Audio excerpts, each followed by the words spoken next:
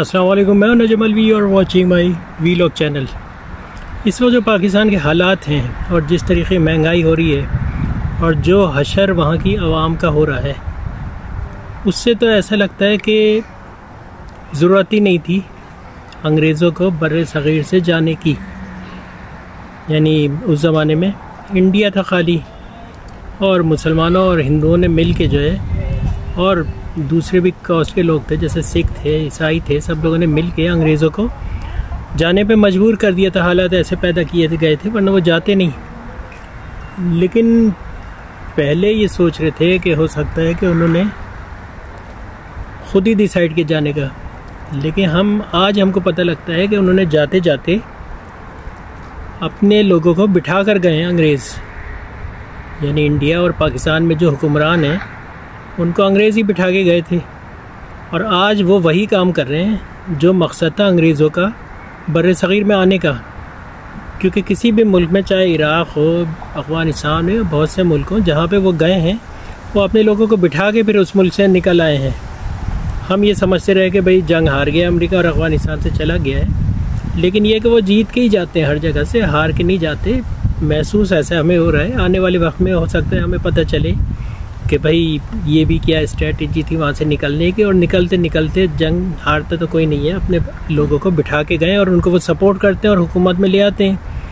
तो पाकिस्तान इंडिया के साथ भी यही हुआ है कि हमारे यहाँ जो लोग बैठे हैं, हमारे यहाँ तो खुल के बात सामने आ गई है कि उन्होंने जिन लोगों को सपोर्ट किया है, यानी इम्पोर्टेड गवर्नमेंट का नाम दे रहे हैं, बड़ा अच्छा सा, लेकिन इम्पोर्टेड तो सारे ही हैं, जितने भी हमारे हुक्मरान रहे हैं, चाहे इमरान खान के साथ जो लोग हैं, वो हों या चाहे इमरान ख़ान हो या ये हो, ये सब के सब जो हैं, ये उन्हीं के टास्क पे काम कर रहे हैं। जो टास्क मिलता है, उसी पे काम हो रहा होता है। और काम ये है कि भाई अंग्रेज़ जब बर सग़ीर, इंड बर सग़ीर पाक हिंद में आए थे। जब जिस ज़माने में थे, उस ज़माने में पाकिस्तान भी नहीं था, इंडिया भी नहीं था। क़ायद अज़म और गांधी ने मिल के जो है, या मुसलमान और हिंदुओं ने मिल के जो है, अंग्रेज़ों को वहाँ से निकलने मजबूर किया था। और उसके बाद वो जाते जाते जो है, पाकिस्तान भी बना गए और इंडिया भी बना गए।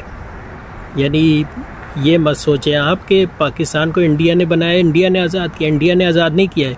ये काम अंग्रेज़ करके गए हैं तो इस खुश फहमी में ना तो इंडियन रहे और ना ही पाकिस्तानी रहे कि भाई इन्होंने जो है मुल्क जो इतनी आसानी से हासिल कर लिया है। ठीक है, आसानी से तो बहुत मुश्किल हुई हैं। कायद अज़म का फ़ैसला सबसे अच्छा था। आज आज तो ये बात साबित हो गई है कि भाई इंडिया में जो हालात है मुसलमानों के साथ, उस हिसाब से इमरान उस हिसाब से कायद अज़म का फ़ैसला जो है बिल्कुल ठीक था। ये तो आज बात कन्फर्म हो गई। जो लोग कायद अज़म के फ़ैसले के ख़िलाफ़ थे, वो आज उन्हें भी मान लेना चाहिए इस बात को कि भाई ये सही फ़ैसला था। दूसरी चीज़ ये है कि अंग्रेज़ों ने जाते जाते जो है, हमारे मुल्कों में अपने एजेंट बिठा के गए हैं और यही वजह है कि जो उनका मकसद था कि भाई इंडिया में आके और यहाँ की दौलत को लूटना, वो आज भी लूट रहे हैं। किस तरह लूट रहे हैं मैं आपको बता देता हूँ। बेहवाला स्कैंडल है। उसका पैसा कहाँ जाता है? स्विस बैंकों में जाता है, अमेरिका में जायदादें ख़रीदी जाती हैं। इसी तरह पाकिस्तान है। यहाँ पे मनी लॉन्ड्रिंग करके जो है, सारा मुल्क खोखला और अमेरिका का जितना कर्जा मिला था, वो वापस जो है, उनके मुल्कों में ट्रांसफ़र हो जाता है। वो इंडिया पाकिस्तान में कश्मीर का मसला छोड़ के चले गए। सारी ज़िंदगी उस मसले पर हम लड़ते रहेंगे। आज़ाद नहीं होना उसने। आज़ाद तो होना ही नहीं। आज़ाद हो जाएगा तो खेल ख़त्म हो जाएगा। भाई, कश्मीर के नाम पे हमने आइटम बम बना लिया इंडिया ने भी बना लिया। ठीक है, ये बात तो चलो उन्हें पसंद नहीं आई, लेकिन फिर भी बन गया। उनकी मर्ज़ी शामिल कहीं ना कहीं तो होगी कि चलो बनाने दो। कंट्रोल तो हमारा ही रहेगा और उनका ही हो सकता है कंट्रोल हो। दूसरी चीज़ ये हमारे ऐसे गवर्नमेंट में लोगों को बिठाया जाता है, जो लोग मुल्कों से दौलत लूटें और उनके मुल्कों में इसमें इन्वेस्ट करें। हमारे मुल्क के स्कूल बर्बाद कर दिए। हमारे मुल्क में जो पैसे वाले हैं, वो हमारे मुल्क के स्कूलों के बजाय ब्रिटेन के स्कूलों में अपने बच्चों को भेजते हैं। क्यों भेजते हैं? इसलिए कि हमारे मुल्क की हालात ख़राब हैं। हमारे मुल्क में प्राइवेट स्कूल जो हैं बच्चे लोग अपने बच्चों को वहाँ लाखों रुपए दे के पढ़ाना चाहते हैं। उनका सिलेबस भी जो है मानचेस्टर यूनिवर्सिटी है इधर उधर से आता है। उसके भी वो लाखों रुपए देते होंगे यकीनन। होता क्या है गवर्नमेंट स्कूल इतने बर्बाद किए गए कि लोग अपने बच्चे को जो है प्राइवेट स्कूल में ही डालें। ये है प्राइवेटाइजेशन प्राइवेटाइजेशन जो आई थी और कह रहे थे खुशहाली आएगी तो प्राइवेटाइजेशन में तो भाई यही लीडरान हैं, इन्हीं के सब स्कूल हैं। इन्हीं की इलेक्ट्रिक सप्लाई है, इन्हीं का वापडा में है हाथ, और ये जितनी भी कॉलोनियाँ और ये लैंड बन रहे हैं, वो इस तरह बन रहे हैं कि भाई बाहर मुल्कों में जो पाकिस्तानी जो पाकिस्तानी पैसा भेजते हैं, वो इन इन, यानी इन प्रोजेक्ट में इन्वेस्ट करें प्रॉपर्टियाँ ख़रीदें, और ये प्रॉपर्टियाँ बेचने वाले जो हैं, वो सारा पैसा लेके वापस जो है इंग्लैंड के बैंकों में, अमेरिका के बैंकों में मनी लॉन्ड्रिंग करके पहुँचा देते हैं। या फिर ये कि बड़े बड़े स्कैंडल होते हैं। इंडिया में भी यही हाल है, जो कि ख़बरें आ रही हैं। न्यूज़ की बात कर रहा हूँ, मैं डायरेक्ट नहीं कह रहा, लेकिन हवाला स्कैंडल तो हुआ था। बू फोर्स तोपे ख़रीदी थी, उसे पैसा कमाया था। हमने अब दोजे ख़रीदी नहीं, हमारे ऊपर इल्ज़ाम है कि हमने भी पैसा कमाया था। तो भाई, कश्मीर का मसला ना तो दोनों करेंगे हल, क्योंकि कश्मीर के नाम पे अरबों खरबों रुपए नोट आते हैं। फिर अमेरिका का असला, अमेरिका का वो जो कूड़ा ख़रीदते हैं हम लोग, आप लोग फ्रांस से तैयारे ख़रीदे आपने और आप उछल रहे हैं, लेकिन आपको उस क्वालिटी के तैयारे नहीं दिए जाते हमें भी तैयारे दिए जाते हैं कॉपी दी जाती है। असली तैयारे नहीं होते हैं, उनकी वो वो उनकी, क्या कहते हैं, वो चीज़ें नहीं होती उसके अंदर लगी हुई, जो असल तैयारे में होती हैं। और अगर होता भी है तो वो किस तरह के तैयारे देते हैं, उसका कंट्रोल उन्हीं के हाथ में होता है। वैसे तो कंट्रोल किया, उन तैयारों के पायलटों का कंट्रोल भी उन्हीं के हाथ में है। तो वो क्या होता है? वो अपना जब पुराना असला बेचते हैं तो वह हमारे मुल्क में कहते हैं, असला ख़रीद लो। हम कहते हैं, पैसे नहीं है। तो वो कहते हैं, पैसे भी हम देंगे।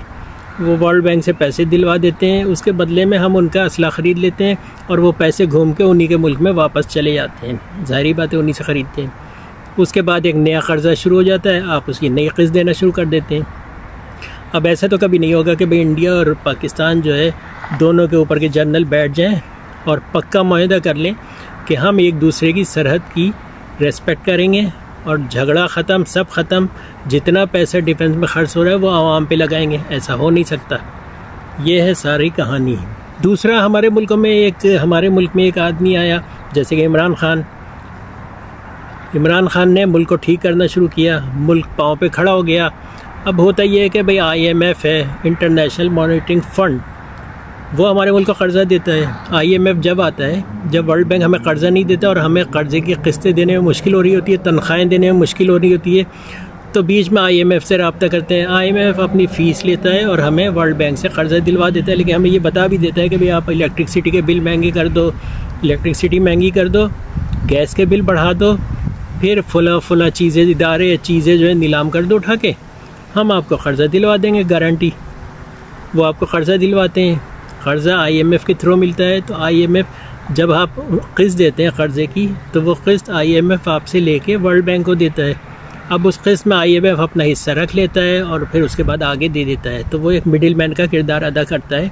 जैसे कि रिकवर रिकवरी ऑफिसर होता है, इसी तरह आईएमएफ भी रिकवरी करता है कर्ज़ों की, और कर्ज़े दिलवाता भी है तो रिकवरी ऐसे करता है कि अगर आप कर्ज़े की किस्त नहीं दे रहे हैं तो आपको मज़ीद लोन दिलवा देता है, और एक अजाब और आपके ऊपर चढ़ जाता है, और आप बिल्कुल कर्ज़े की किस्त अदा कर देते हो। अगर नहीं करोगे तो आपको डिफ़ॉल्ट कर दे रहे हैं डिफ़ॉल्ट कर देते हैं तो आपको कहीं से कर्ज़ा नहीं मिलता, और आपकी मुल्क की इकॉनमी गिरती रहती है, और आपके करेंसी की वैल्यू जो है, वो भी गिरना शुरू हो जाती है। यही वजह है कि आज जो है दो सौ दस रुपये का या दो सौ छः रुपये का जो है डॉलर हो गया है।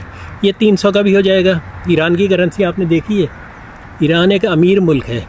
लेकिन उसकी करेंसी ढाई सौ उनकी ढाई सौ रुपये का, एक रुपये के ढाई सौ रुपये मिलते हैं। यानी पाकिस्तानी एक रुपया जो है, वो उनके ढाई सौ रुपये की बराबर है ईरान के। ठीक है ना? एक डॉलर जो है, वो कई हज़ार कई हज़ार जो है ईरानी करेंसी का है। तो यही सारी बात है। कि भाई जिसकी लाठी, उसकी भैंस तो हम इस खुशफहमी नहीं। तो इस हिसाब से मैंने अंदाज़ा लगाया कि भाई कम अज़ कम अंग्रेज़ रोटी पानी तो दे रहे थे। अगर हमारे मुल्क में अंग्रेज़ होता, हमारे मुल्कों में तो उसने सिंगापुर तो बना दिया होता। क्योंकि अंग्रेज़ों के ज़माने में जितनी भी डेवलपमेंट हुई, कंस्ट्रक्शन हुई, जो कुछ हुआ, वो आज नहीं हो रही। अब कराची है, वहाँ पे ट्राम चलती थी। दुन, कराची दुनिया का वाहि शहर था जो बड़ी तेज़ी से डेवलप हो रहा था और हर चीज़ थी वहाँ पे। लेकिन अब नहीं है, अब देखें। तो ये सारी चीज़ें हैं जो देखना पड़ेंगी हमें, और इस हिसाब से मैं कहता हूँ कि भाई चलो, अंग्रेज़ ही ठीक थे। क्यों? इसलिए कि अंग्रेज़ों ने जो है, हमें हर फैसिलिटीज़ दी हुई थी। लेकिन आजकल आजकल तो आपके यहाँ पानी नहीं आता। टैंकरों से तो पानी आता है। यानी सत्तर साल में हम लोगों को पानी तक नहीं दे पाए। तो क्या होगा इस मुल्क का?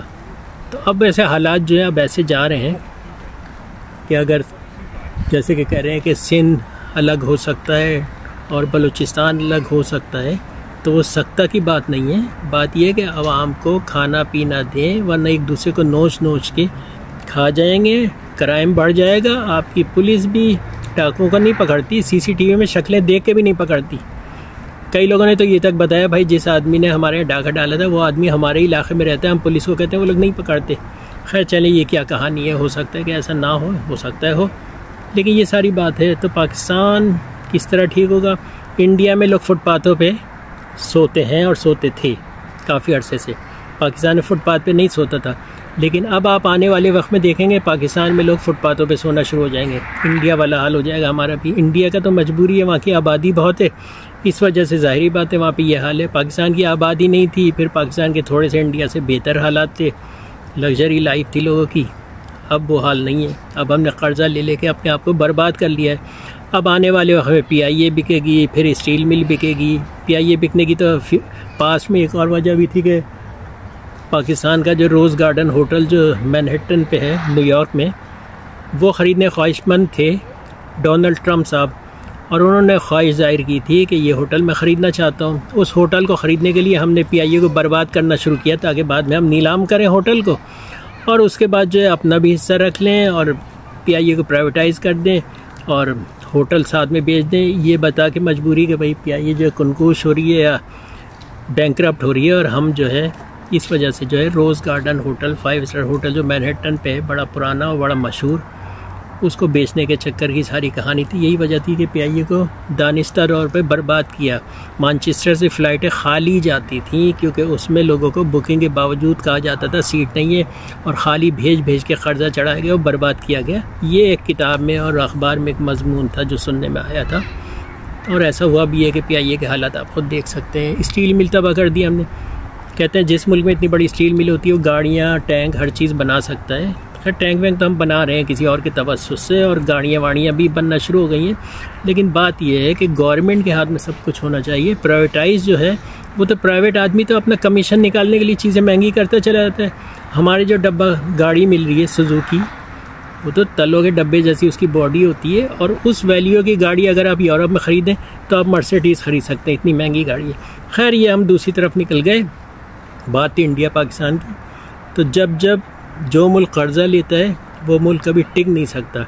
जिस मुल्क में आईएमएफ आ जाता है, उस मुल्क का आखिरी वक्त भी आ जाता है। तो अल्लाह ताला पाकिस्तान को क़ायम रखे और इंडिया को भी क़ायम रखे। हमारे पड़ोसी, अच्छे पड़ोसी रहना चाहिए। तो ये कि हालात हम दोनों के एक ही जैसे हैं। बांग्लादेश तरक्की कर गया है। क्या वजह है? ये ढूंढना पड़ेगा ना। कल तक हम जिस बांग्लादेश को कहते थे कि तो पाँच टके टके पर दो टके का दो टके का, जिसको हम कहते थे, आज हम दो टके के हो गए इसलिए कि हमारे एक टके के, हमारे दो टके मिलना शुरू हो गए एक ज़माना था कि हमारे एक टके के, उनके पाँच टके मिलते थे। यानी बांग्लादेश की करेंसी जो है, उनके दो, हमारे हमारे, हमारा, हमारे दो रुपए का एक टका हो गया है। बस, ये आप समझ लें। उनकी करेंसी बहुत अच्छी जा रही है और उनकी तरक्की की रफ्तार भी हमसे तेज़ है। हमसे आगे निकल गए हैं वो। आज़ाद होने के बाद कुछ लोग प्रेडिक्ट कर रहे थे, आज़ाद होने के बाद तो बर्बाद हो जाएँगे। इनके तो हर वक्त जो है सैलाब आता है और इनको उल्टा पैसे देना पड़ते हैं, लेकिन ऐसा हुआ नहीं। वो तरक्की कर गए। उसकी वजह ये है कि उनके गवर्नमेंट में करप्शन कम है, उनके इदारे काम कर रहे हैं, सबसे बड़ी बात। खैर, मैं हूँ जमील भी और watching my vlog channel और बेल आइकॉन दबा दें सब्सक्राइब कर दें, ताकि हम आपकी अगली वीडियो जो है उसमें भी कुछ आपको इन्हीं चीज़ों के बारे में बताएँगे कि हो क्या रहा है और हम क्या कर रहे हैं। हमारा दिमाग जो है वो सुन हो चुका है, लेकिन हमारा नहीं हुआ है। भाई, हमारे ऊपर जो हमारे हुक्मरान बैठे हैं, माशाल्लाह से जो दिन रात हमसे मोहब्बत के कसीदे गाते हैं, वो हमें खा गए हैं। यही वजह है कि पाकिस्तान इंडिया से ही सारा पैसा बाहर के मुल्कों में जाता है। कसूर इसमें ब्रिटेन का नहीं है, ना अमेरिका का है। क्योंकि हम भी तो अक्लमंद है ना। हम जब बात करते हैं तो हम ये दिखाते हैं कि दुनिया में सबसे ज़्यादा अक्लमंद हम ही है, बाकी सारी दुनिया बेवकूफ़ है। बस हम ही अक्लमंद हैं। लेकिन ऐसी अकल का क्या फ़ायदा जो नज़र नहीं आ रही? खैर, अगले वीडियो तक के लिए सब्सक्राइब कर लें और बेल आइकॉन दबा दें और अगली वीडियो कल हम फिर इसी कस्म की वीडियो डालेंगे और नई नई चीज़ें आपको बताएँगे, बल्कि आपको कुछ चीज़ें तो पता होती हैं, लेकिन तरतीब में अगर बताएँ तो आदमी को समझ में आता है कि खेल क्या चल रहा है और कहानी क्या चल रही है। खुदा हाफिज़।